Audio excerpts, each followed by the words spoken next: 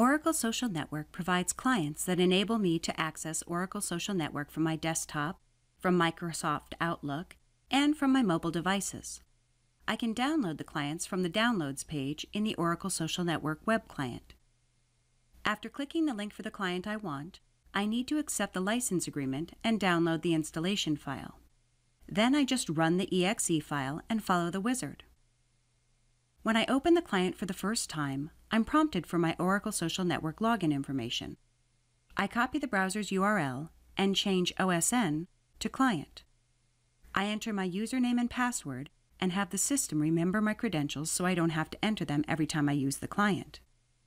After I'm connected, I see my recent activity.